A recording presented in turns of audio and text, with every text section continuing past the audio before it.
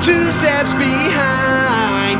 And when you catch up, they'll destroy your mind.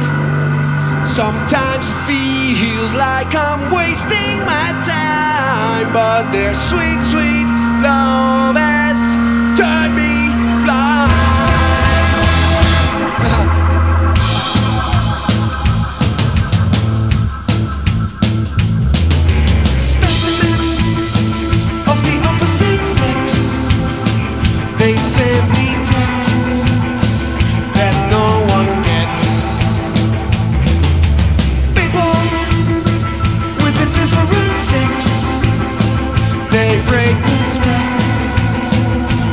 opposite sex.